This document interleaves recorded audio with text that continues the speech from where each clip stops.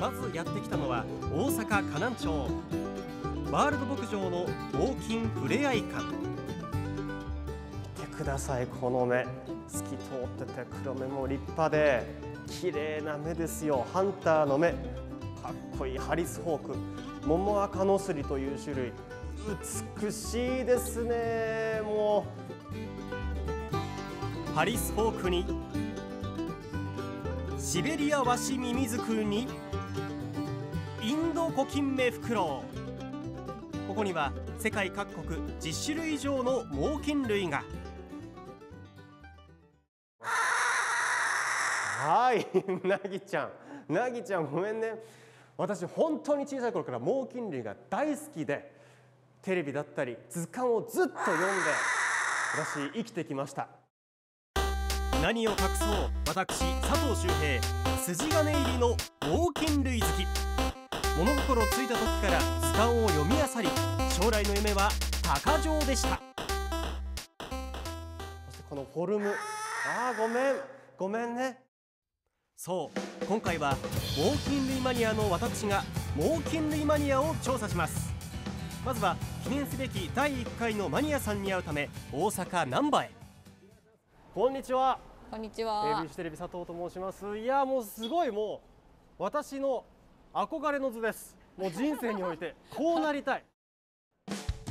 私生まれて初めて腕に鷹を乗せた女性との待ち合わせです。神馬由美さん37歳猛禽類を愛して20年という今回のマニアさん。猛禽類まずこの目ね。目がかっこいいでこの子ちょっとグレーですけど、うん。私あのオジロワシの目が大好きで。えー、いやまた。ちょっと黄色いね。黄色いね。もしオジロワシのはい、はい、カラーコンタクトがあったら絶対私買ってつけます。いきなり猛禽類愛全開で恐縮です。でも皆さん気づかれましたか？看板の上にもこんな可愛らしい子がいるんです。こちらもあちょっと背中向いちゃってますけど アフリカオオコノハズクキュッとなる子。こうキュッとなる子。これあの ここ何か差し込んでください。キュッとね。こう細くなる子。アフリカオオコノハズク。ここはジンマさんが2年前にオープンさせたラプターランドシャベル。11羽のフクロウやタカが在籍する猛禽類カフェなんです。餌をやったり腕に乗せたり触れ合うことだってできます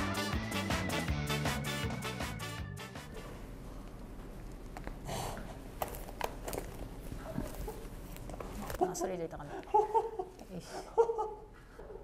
落ち着く。ああいいですね。いいいんですか私は？あ全然触ってもらって。あら ずっと下げます。好きですこの子。私好きです。ここで最初のマニアポイントジンマさんお気に入りの触れ合い方法があるそうで。うっとりええ顔するでしょ。あここがここが好きですか？はい。あれここね。すっごくふわふわ気持ちいい。飛び込みたいぐらい。気持ちいい。触り終わってもからもまだ来るもんやと思って待ってるんですよ。終わったんって後でこうふわって上がってくる感じですね。どうですか皆さん。猛禽類の可愛さ分かってきましたか？さらに猛禽類はその多様性も大きな魅力。あメンフクロウちゃんですか？これメンフクロウの中でも白いバージョンです、え？多分知らないんちゃいますか？スーパーホワイトメンフクロスイちゃんウですね。スイちゃん。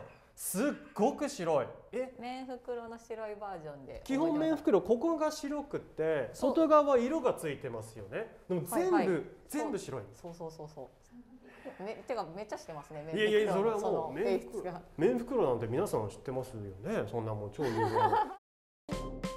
すみません興奮してマニアの悪いところが出てしまいました。あもうこれはもうベンガルちゃんですか？じゃないんですヨーロッパ。えでもないえ？ベンガルでもないヨーロッパでもない。ちょっと大型が。ユーラシア。あ正解ユーラシア橋ミミズク。すごいそうか。大型で。いやー私にとっては楽しすぎる時間なんですけども皆さんついてきていらっしゃいますか？やや不機嫌でカメラにらんでますけど。なんやこいつみたいになってますけど。ごめんね。猛禽類ってちょっとやっぱり木に止まってるイメージありますけどこのようにこう地面に見てください。お座りしてる。そうですね。ぺったんこにもなりおます。座りしてる。フクロウがお座りしてる。ずっという。可愛らしいでしょまるでワンちゃんのようなお座り。実はジンマさんのトレーニング方法にもワンちゃんとの共通点があるそうで。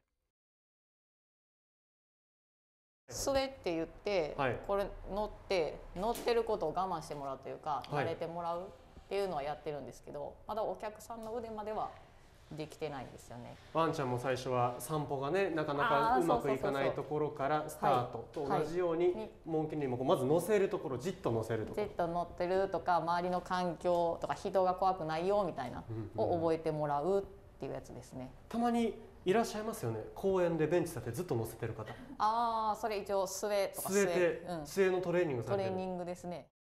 ね皆さんも見かけますよね。公園で猛禽類をトレーニングしている方今回のマニアさん。小さい時から動物が好きだったそうで。19年前動物飼育を学べる専門学校に入学。アニマルショーなどさまざまな動物と仕事をする中ある運命的な出会いを果たします。何かしら結局動物？が良くて研修行ってたらたまたまはやぶさかな遠くからバーって鳥を飛ばしてるとか検視先でね見たりしてあかっこいいなやってみたいなみたいな。でそっからもうそっちですね。それ以来バードショーのトレーナーやフクロウカフェの店長などを経験。2年前数百万円の貯金をすべて切り崩し念願の猛禽類カフェをオープンさせたのです。一番はい。猛禽類で好きな種類っ好きな種類。て何ですか？めっちゃ好きなのはワシのすり。あワシノスリちゃんと鳴らしたいとか。結構珍しいんじゃないですか？でもこうそうですね。個人店で扱ってるのはうちぐらいですかね今多分。そんなジンマさんとっておきのマニアな楽しみ方が。この辺をこう太ももを触るっていう この間めっちゃぬくいんですよなんせ内股に手を入れるってことですか？そうそうそうそう。そうちょっと。なるほどなるちょっとほどほうほうほうほうほうほう。いやぬくいんです。けど温めてもらうっていうのは用意してました猛禽類の内股で手を温めると。そう。そうそうそう最高ですね。素晴らしい。いや若かりし頃。はそうやって若かりし頃。あら若気の至りみたいな。温める皆さんも寒い日はぜひフクロウの内股に手を入れてみてください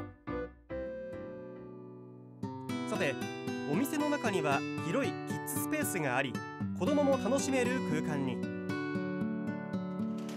実はジンマさんも2人の娘さんを育てるママなんです。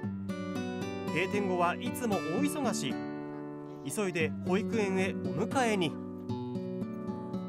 これねご飯時にねごめんね。これアイス。アイス。アイス好きやねんな。あ美味しそう。まあこのお店を開くご主人はどう思われましたか？まあいつかはやると思っとったんかああそういう話はお二人でされてなそうですね。お店をオープンした時長女エマちゃんは1歳そして次女ユマちゃんを妊娠中でした。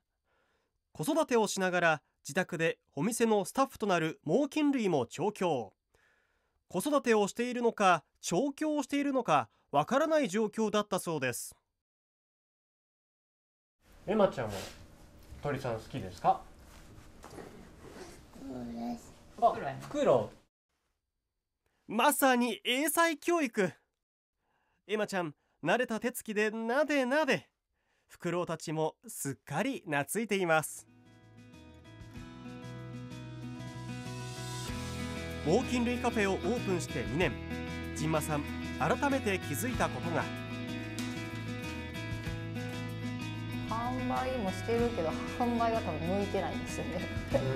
あげたくないっていうかは あるんですけどすぐ来てこれちょうだいみたいなもの扱いではなくってちゃんとこの人えー、言ったらその子とずっと一緒に生活してくれるかとかも見たいんでだからその動物ちゃんと見てくださいねっていうのを発信というか伝えるかなっていう。